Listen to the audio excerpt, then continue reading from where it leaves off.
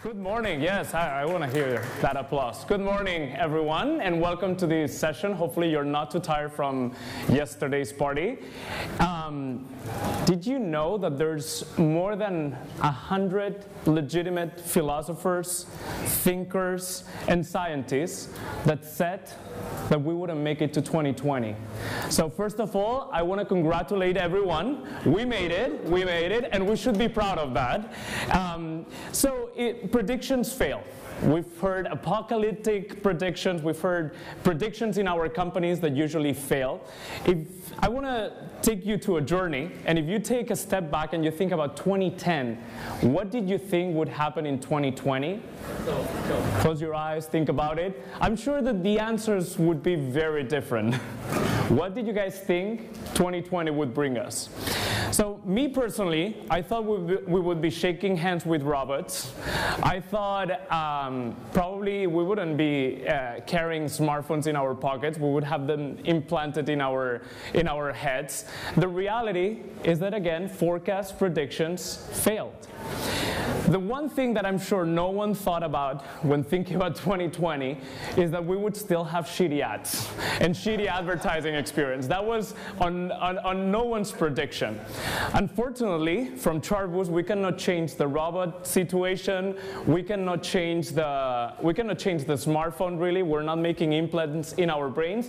But I hope we can change the world with a different approach to advertising and monetization in app.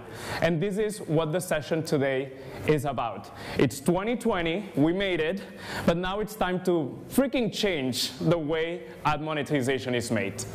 So what I'm going to share today is, I don't want to make this boring, it's just six thoughts, six concepts that every game developer, every monetization manager should know today and moving forward.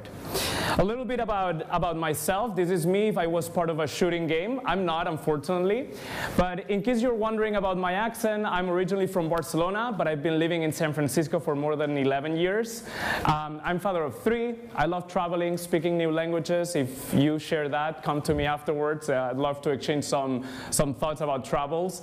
And I've been working around the App Store since pretty much the beginning, since 2009. I've been part of Chartboost uh, Uh, since 2011, and I'm Chief Strategy Officer. For those who don't know Chartboost, we're an in-app programmatic platform, very focused in gaming because this is a, a really at our core.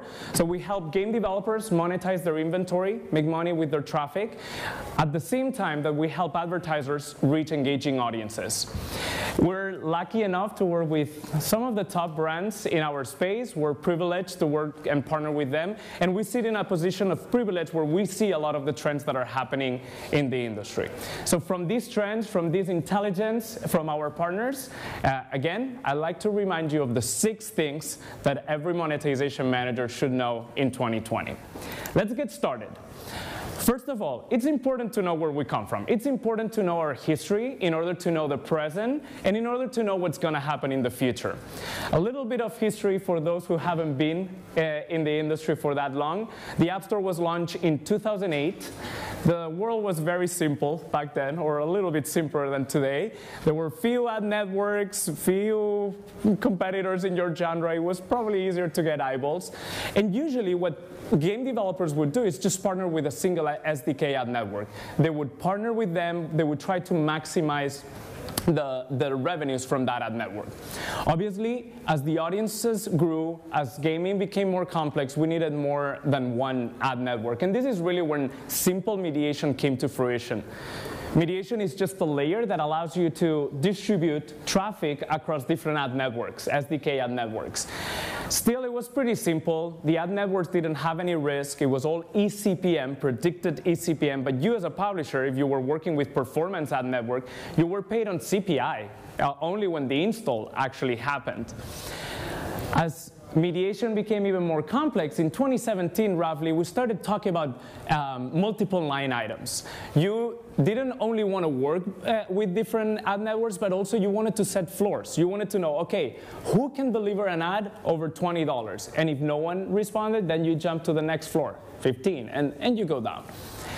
That is obviously still not optimized. There's a lot of work there. And what we're seeing, uh, especially after 2019, we were talking about this earlier, is the growth of bidding and unified auctions. With the growth of uh, and the development of programmatic, we're seeing new ways in which monetization is happening. It's CPM, there's commitment from the bidders, and it's essentially based on auctions. And this is really what we're going to be talking about.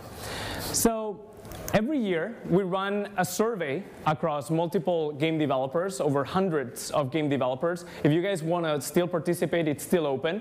And we ask them about the, the most recent trends and what are they seeing, what are they worried about. What we saw in the last survey that it's still running compared to 2018 is that Obviously, the last bucket, single ad networks, less and less game developers, and probably only the, at the long tail, are, only, are, are partnering with only one ad network. That's pretty obvious. And the growth is really coming on third-party traditional waterfall, so third-party mediations that manage this waterfall, and the concept of a hy hybrid mediation, which is a waterfall plus a programmatic component. So what we're seeing is that the industry is shifting towards that. It's becoming, it's relying on third-party players. It's still not 100% there, and definitely the bucket of in-house exchange, so companies that have built their own exchange internally or are using bidding, a, a unified auction concept, is still not, not as big as a, as a purist solution. You see that the waterfall is still there, whether it's uh, with a third party or, or with your own in-house mediation. We know today that the waterfall model is broken. The waterfall, essentially, what, what it does is it looks at historical data and it tries to predict the value of each ad network, right? Very simple. You work with four ad networks in this example. You look at uh, the performance in the past and you try to predict how, how uh, will it perform uh, for this particular impression. What happens is that the number one network that performed well in the past doesn't mean that for that particular impression is the best performing. You can have network number three that didn't have the chance because in the past didn't perform that well, but now it could give you a $10 CPM compared to a $6.5 CPM. That's, that's really what happens on a, water, waterfall setup, on a traditional waterfall setup. So there's missed revenue um, because of the predictive predictions are fail, as I said at the beginning. Um, also, not every demand partner that you work with has the opportunity to bid. And if you don't give them the opportunity, you're not giving them the chance to actually give you the best uh, bid that they can. Managing all that has some overhead cost. You need to uh, optimize it, you need to change things. Um, it can be cumbersome. And there's no transparency. In most cases, you don't know why did that network uh, uh, got called the first, or why, why uh, that network at the bottom didn't have a chance to, to perform. So in short, the waterfall model is broken. And RTB is the way to go. RTB is not, is not new as a concept. Real-time bidding is not a new concept. When you think about the waterfall, the traditional way, it's almost like going to a market. It's very inefficient. Sometimes it's subjective. You may be selling products that are high quality to someone for low just because mm, you like that person. Or the other way around. You sell a premium for a shitty product because it's just a tourist, right? And that's what happens in a marketplace. And this is what happens also in real life uh, on a waterfall. Sometimes you're giving your best traffic to people that actually don't deserve that and are not performing very well. On top of that, it allows a lot of deals, negotiations, bargains that are not very efficient, to be honest. The concept of an auction again and real-time bidding is not new. It's just giving a bunch of buyers the opportunity to bid in real time. And you just pick the highest bidder, as simple as that. So when you bring that into advertising, that's what we're doing with RTB. You have an SDK that sends an ad request to an auction server, and you just call all the demand partners you want. You can have ad networks, you can have DSPs, you can have brands, you can have performance advertisers, whoever you can think, and you let them bid in real time for that particular impression. There's no predictive, there's no historical, it's just for that impression. How much do you value that impression and how much are you willing to pay for that? And you get the bid, the bid responses and you pick the, the, the highest. As simple as that. Again, not new, but we're slowly implementing that in the world of in-apps. I, am not sure how familiar the, the audience is with auctions. There's essentially two pricing uh, dynamics. There's first price auction, which means that the bidder, the highest bidder, wins, and that price that they bid is the commitment. That, that's what they pay. In a second price auction, which is what traditionally exchanges have been uh, using, um, what happens is that the highest bidder wins the auction, but th they pay the second price with just a little cent more. So it's just a little bit more than the second price. Obviously, the dynamics of bidding are different. As I said, ad exchanges traditionally, especially because Google embraced second price bidding at the beginning, work with second price. But uh, in a unified auction world, first price is the trend that we're embracing. So we want that commitment from, from all the bidders. Again, the waterfall is broken, and RTB is the way to go. Number four, in-app bidding is changing the way monetization in-app is, is, is, is happening. In-app bidding is uh, taking the example of header bidding on the web. Essentially, uh, there was a movement against Google's monopoly on cherry picking the inventory of the web. They had the opportunity to bid on almost every everyone on top of, uh, of all the different ad players. So essentially, it takes the dynamics of RTB, and again, it runs an auction in parallel. You call everyone server side. If there's an SDK, you also allow uh, an SDK rendering, but you aggregate as much demand as possible. You send bid requests in parallel, and and you, ac you accept those bids to run that auction. And again, first price auction is usually what it's being run. And um, demand partners, again, can be, when you see demand partners, it can be exchanges, it can be SDK networks that you've been working uh, with in the past. It could be potentially DSPs. It could be it could be pretty much anything that has the ability to bid in real time programmatically using OpenRTB. Within a bidding, what happens is that, again, that dynamic of um, traditionally the best performing gets the impression, that doesn't happen. It's really whoever values that impression the most that is going to get the opportunity. So it increased revenue. You've probably heard many solutions out there sharing the initial case studies. We're seeing at least 10% uplift in ARPDAU, in average revenue per, per daily active user in, in the majority of them.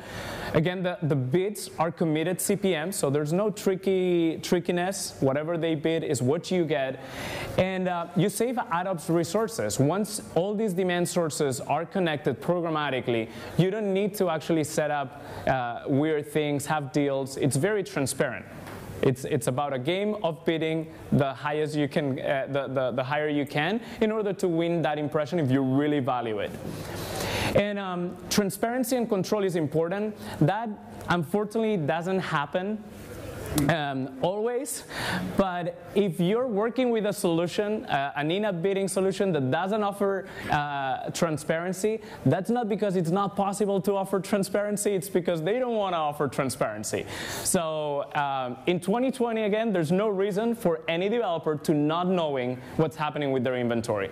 And in fact, if you're running real-time auctions, you know exactly how much worth is every bucket of your inventory. You can price. You know each each, each segment of your audience, how much are people willing to buy, to, to buy them for, for?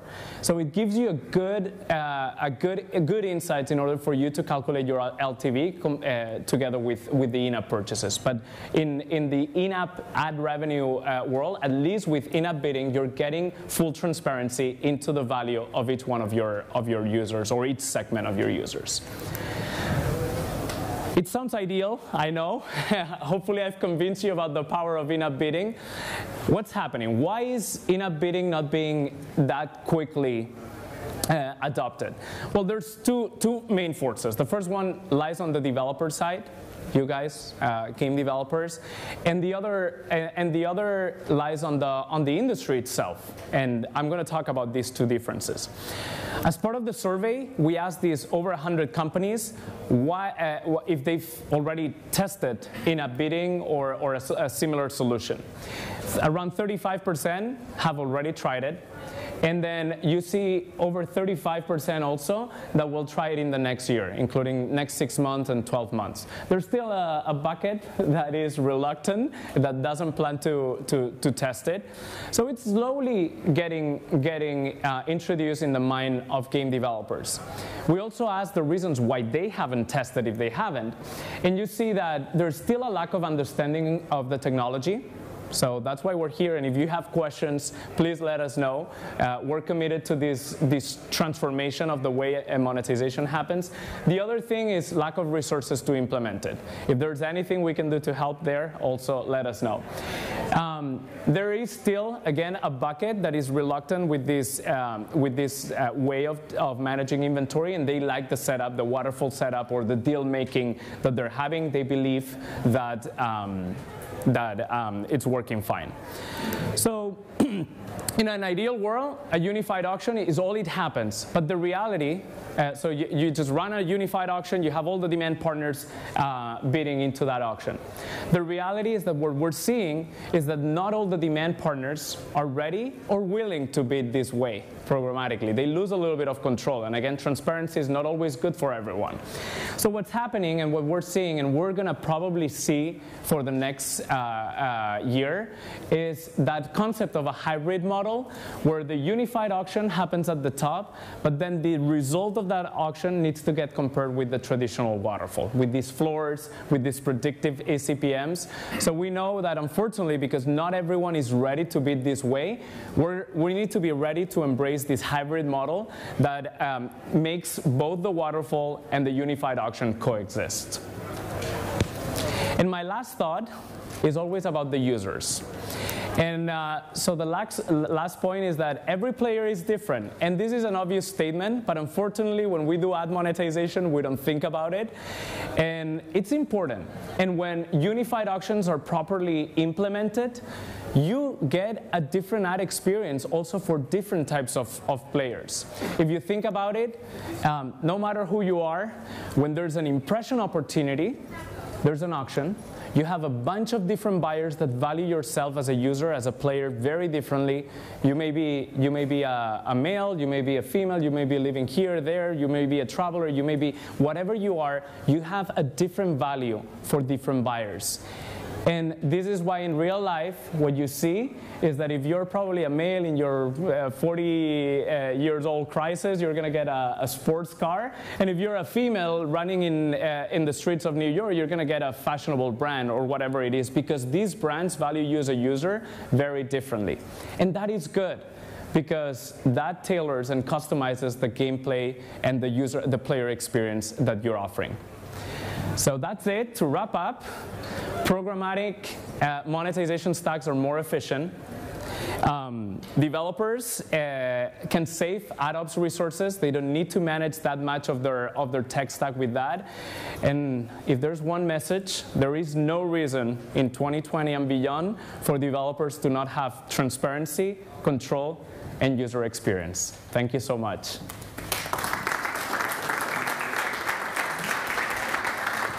Great, Pepe. Thank you very much. Do we have any questions for Pepe?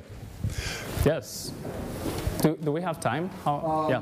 We have like quite time for two questions. Perfect. Hi. Sorry. Hi. Um, just wondering, what's the difference then between, uh, say, what you do and say someone like AppLovin, who also do in-app bidding? Yes, that, this is a, a great question. Um, it, it really, so, so where, where we're coming from is really an ad network evolving into, into a unified auction. Right now, what we are offering is transparency only on the unified auction. What AppLovin has is uh, mediation together with a, with a unified uh, auction altogether, right? Our take, uh, well, we may be seen very, uh, very similarly. Our take is always on the transparency on, and the control. So uh, we, we've put a lot of effort on, on giving you the, the, the um, analytics, the, the resources for you to pull the data and see what's happening in every single auction. I lied. We had time for one question. Thank you very All much. Right. Thank um, you so much. Where can we find you if we want to ask you questions later? Absolutely. I'll be around. We also have a, a room uh, at the lobby of the, of the hotel, so across the courtyard. It's called Worsley Room, and we'll be there all day. Fantastic, Pepe. Thank you very much. Thank you.